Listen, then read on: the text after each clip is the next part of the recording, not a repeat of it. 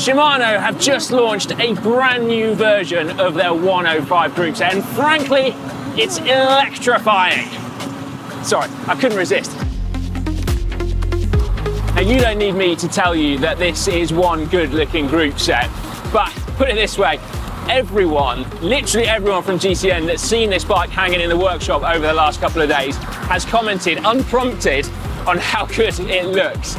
And whilst it might not have literally everything that the latest Ultegra and Dura-Ace have got, it has almost everything. And anything that it does miss out on, it has the same as previous Dura-Ace and Ultegra that was current just 12 months ago.